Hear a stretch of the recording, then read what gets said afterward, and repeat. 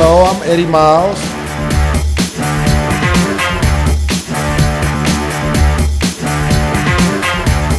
I've been creating art since uh, about 12, so it's been about a little over 13, 14 years.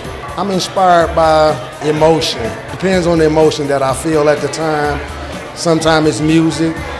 Rap music makes me draw happy stuff because it's like a party. And more mellow music makes me draw things of, that I think about, pain maybe, or just good times in my life. My style is um, a little uh, realistic, but animated at the same time to give emphasis.